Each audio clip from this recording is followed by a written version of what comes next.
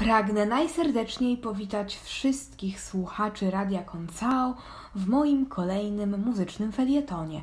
Przed mikrofonem Agata Zakrzewska.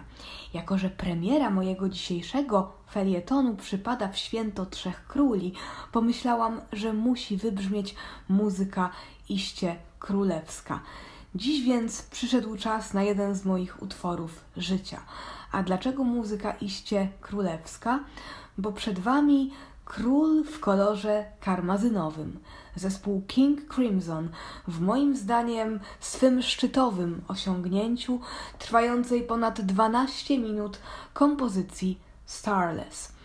Utwór Starless pochodzi z albumu Red wydanego w 1974 roku. Tekstowo są to moim zdaniem najsmutniejsze słowa, jakie kiedykolwiek przyszło mi słyszeć w piosence. Podmiot liryczny to samotny człowiek, którego oczy rejestrują blask dnia codziennego, jednakże w jego sercu jest pustka, którą symbolizuje bezgwiezdna oraz biblijna czerń. Jak na te słowa odpowiada muzyka? Brzmi ona niezwykle melancholijnie i majestatycznie już od pierwszych dźwięków. Najpierw docierają do nas bowiem dźwięki instrumentu o wdzięcznej nazwie melotron. Owe dźwięki przypominają trochę brzmieniowo instrumenty smyczkowe. Melotron wykonuje akordy.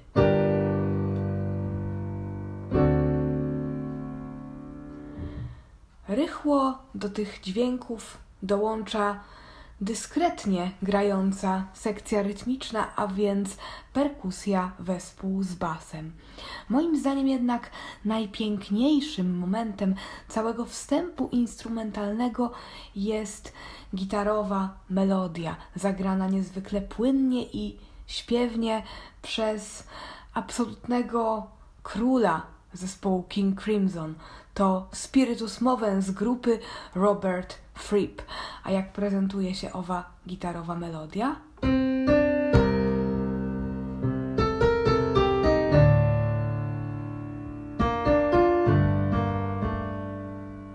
Powtarza się ta melodia kilkakrotnie i kluczowym powtórzeniem jest moim zdaniem ostatnie, rozbrzmiewające w wyższym rejestrze oraz posiadające pewne zmiany w zakresie linii melodycznej. Zresztą posłuchajcie sami.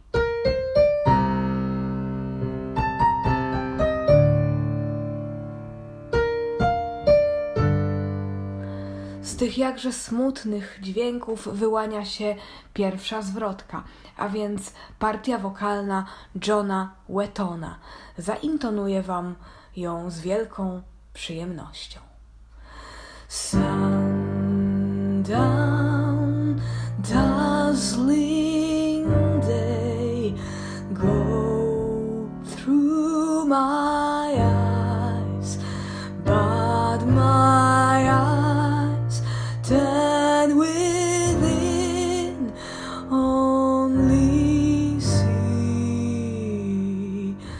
Warto zwrócić uwagę na płynne prześlizgnięcie pomiędzy dźwiękami w słowie see. Jeśli chodzi o akompaniament instrumentalny, słychać dyskretny puls sekcji rytmicznej, pojawiają się aksamitne dźwięki melotronu, a od słowa go wokaliście dzielnie towarzyszy kontrapunkt, czyli melodia towarzysząca w partii saksofonu. Bez zbędnych instrumentalnych przerywników, pierwsza zwrotka płynnie przechodzi w refren, który tekstowo odzwierciedla jedynie bezgwiezdną oraz biblijną czerń, natomiast akordowo dzieje się tutaj absolutnie sporo. Stale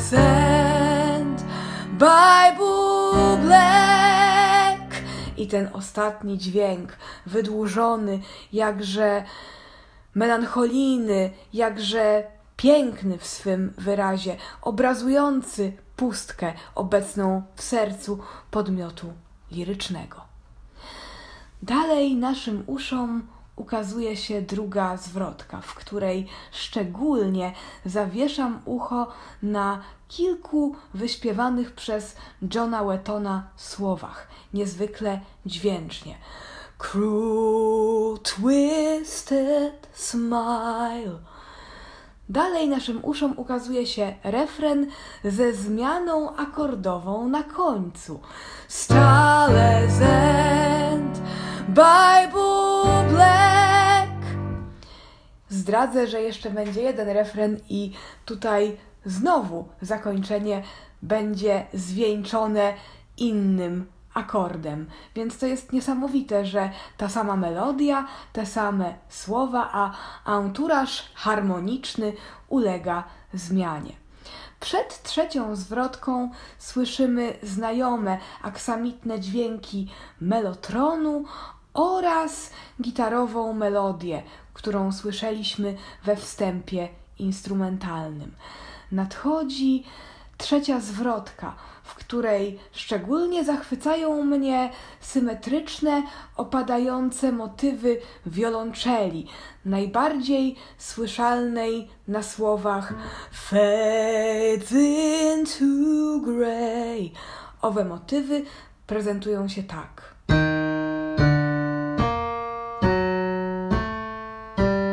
Opadające i brzmiące niezwykle funeralnie, rzekłabym. Jeśli chodzi o ostatni refren, to prezentuje się on tak. Starless Hand, Bible Black. Swego rodzaju optymistyczny, pogodny akord na końcu. I to jest moment, kiedy partię wokalną pochłania tytułowa bezgwiezdna i biblijna czerń, bowiem naszym uszom ukazują się już tylko dźwięki instrumentalne. Warto zwrócić uwagę na uporczywie powtarzany dźwięk gitary, zagrany na dwóch strunach.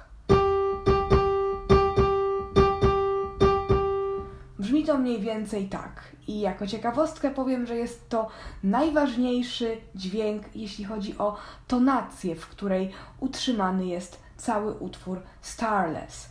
Z czasem gitarowe dźwięki ulegają zmianie, jeśli chodzi o wysokości, ale nie zmienia się swego rodzaju motoryka, uporczywe powtarzanie. Tym przepięknym dźwiękom towarzyszy jednak swego rodzaju diabeł. Diabeł, bowiem słychać diaboliczną odległość pomiędzy dźwiękami w partii basu. Tryton. Taka odległość przed wiekami była nazywana diabolus in musica z racji złowieszczego charakteru brzmieniowego. Jak prezentuje się tryton w partii basu, który rozbrzmiewa równolegle z uporczywie powtarzanymi gitarowymi dźwiękami.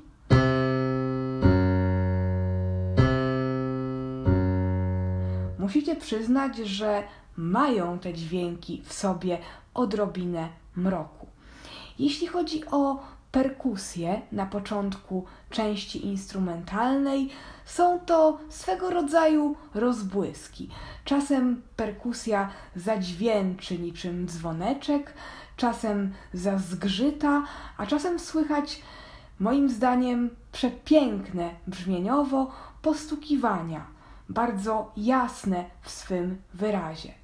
Przez chwilę także słychać zgrzyty, prawdopodobnie wygenerowane syntetycznie, klawiszowo, swego rodzaju skrzypiące dźwięki również wprowadzają aurę tajemniczości. Od połowy utworu, czyli dokładnie od 6 minuty i 41 sekundy, perkusja raczy nas ekspresyjnym, wyrazistym pulsem. Natomiast gitara wciąż fascynuje uporczywie powtarzanymi dźwiękami. Zupełnie nowa myśl muzyczna nadchodzi wraz z bardzo ciekawym fragmentem. Prawdopodobnie są to dwie partie gitary, które wzajemnie się przedrzeźniają, wykonują również uporczywie powtarzane dźwięki, ale ten fragment brzmi moim zdaniem trochę nerwowo, wręcz zajadle.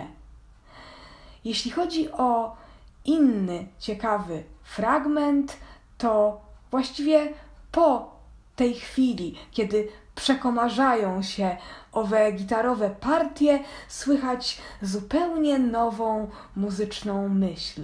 Ogniste, żarliwe, wręcz jazzujące solo saksofonu, wirtuozowskie, kunsztowne i szorstkie w swym wyrazie. Nagle saksofon nas zaskakuje, bowiem przypomina fragment, który już słyszeliśmy, mianowicie melodię najpierw zwrotki, a następnie refrenu i owa saksofonowa melodia rozbrzmiewa przy akompaniamencie motorycznych uderzeń perkusji. Dalej nasze uszy cieszy jeszcze kilka ostrych, gitarowych zgrzytów, brzmiących moim zdaniem bardzo szlachetnie, ogniście, żarliwie i po prostu pięknie. Ale wygrywa jednak łagodność, bowiem klamrowo całą kompozycję Starless spina melodia, którą najpierw słyszeliśmy w partii gitary, na końcu natomiast rozbrzmiewa ona łagodniej, bowiem melancholijnie intonuje ją saksofon.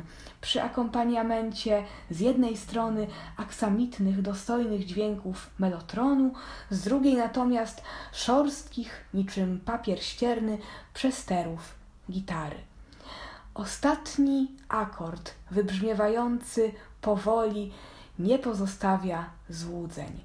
Utwór Starless kończy się bardzo dostojnie i patetycznie.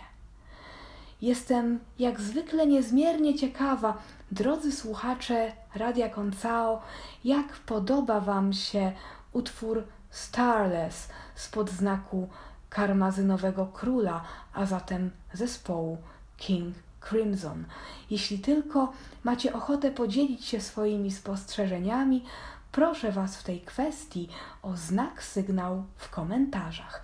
A tymczasem do usłyszenia za tydzień.